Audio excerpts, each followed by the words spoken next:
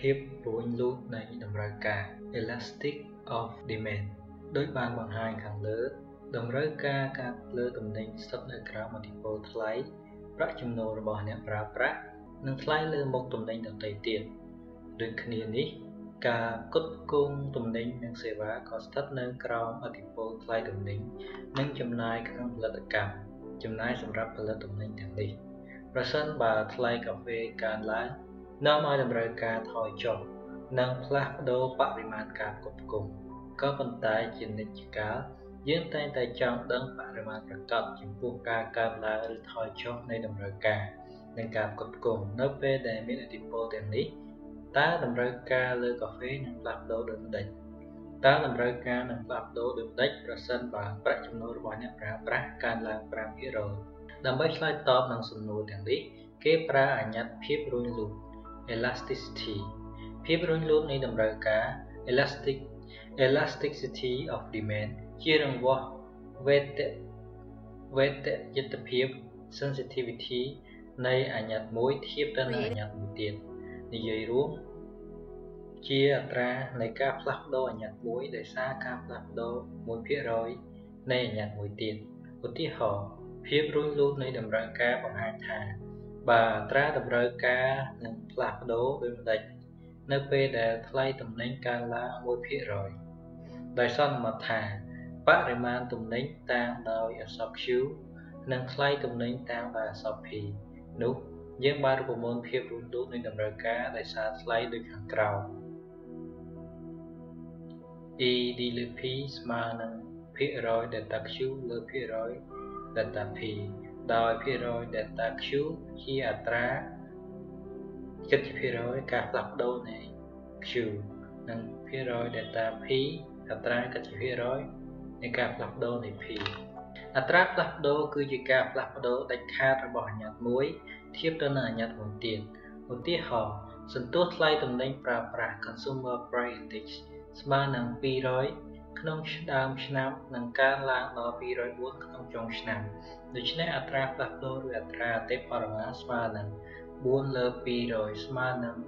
0.02ឬ2%ក្នុងន័យនេះយើងអាចសរសេររូបមន្តភាពរួញលូតនៃតម្រូវការដោយសារថ្លៃទំនិញដូចខាងក្រោមភាពរួញលូតនៃតម្រូវការដោយសារថ្លៃទំនិញតាមធម្មតាមានលក្ខណៈអវិជ្ជមាន នៅពេលណាដែលថ្លៃទំនិញកើនឡើង តម្រូវការថយចុះដូច្នេះ delta P delta Q លើ delta P តំណាក់តំណងតម្រូវការធៀបទៅនឹងថ្លៃមានលក្ខណៈជាចំនួនអវិជ្ជមានដូច្នេះ E D លើ P ក៏វិជ្ជមានដែរក៏អវិជ្ជមានដែរនៅក្នុងករណី E D លើ P កើនឡើង1%ចំណែកតម្រូវការថយចុះក៏ច្រើនជាង1%មានន័យថាតម្រូវការភាពរលូតដោយសារថ្លៃ price elastic ខតិចជាង1%មានន័យថា តម្រូវការគ្មានភាពរលូតដោយសារថ្លៃ price inelastic កស្មើនឹង1%មានន័យថាតម្រូវការមានភាពរួញលូតដោយសារថ្លៃស្មើមួយឯកតា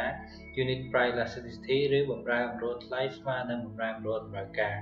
ទន្ទឹមនឹងនោះគួរកត់សម្គាល់ថាភាពរួញលូតនៃតម្រូវការលើទំនិញមួយគឺអាស្រ័យលើទំនិញផ្សេងទៀត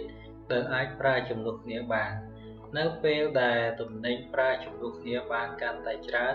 និងថ្លៃកាន់តែកើនឡើងនាំឲ្យតម្រូវការថយចុះក្នុងករណីនេះតម្រូវការមានភាពរលូតខ្លាំង highly price elastic តាមរយៈសមីការ ED លើ P ស្មើនឹងភាគរយ delta Q លើ Q និងភាគរយ delta P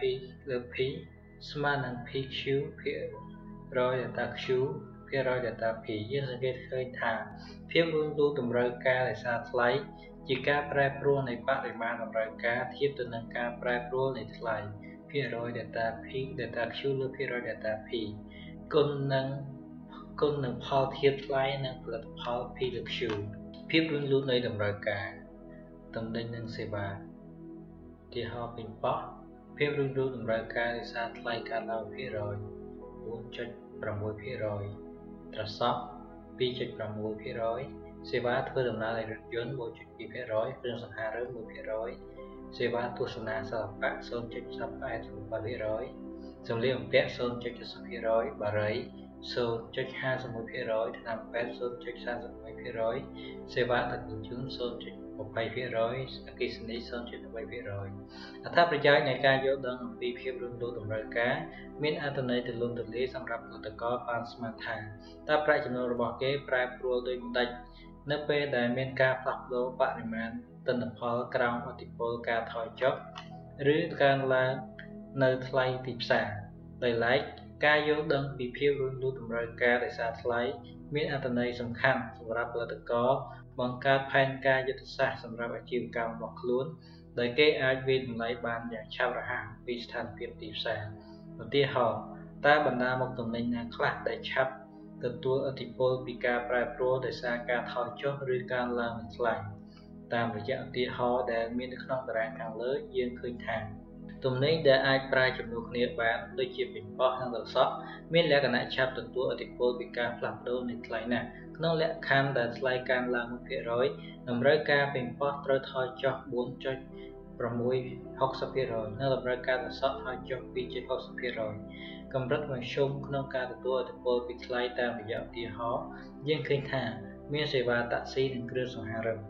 ចំណែកមុខទំនិញ ដែលទទួលឥទ្ធិពលតិចតួចពីការផ្លាស់ប្ដូរនៃថ្លៃយើងឃើញមានសេវាដឹកជញ្ជូននិងអគ្គិសនីដោយឡែកក្នុងឧទាហរណ៍យើងឃើញថាបារីទទួលឥទ្ធិពលតិចតួចណាស់ពីការប្រែប្រួលនៃថ្លៃដែលក្នុងនោះថ្លៃបារីកើនឡើង1%តម្រូវការថយចុះត្រឹម0.51%តែប៉ុណ្ណោះប្រការនេះបញ្ជាក់ឲ្យឃើញថាតម្រូវការជក់តម្រូវការបារីមានកម្រិតខ្ពស់ទោះបីជាគេដឹងថាការប្រើប្រាស់នាំមកខូចសុខភាពក៏ដោយ ក្នុងករណីនេះ ការប្រឆាំងនឹងការជក់បារីដោយដំឡើងថ្លៃបារីពុំសូវមានប្រសិទ្ធភាពទេ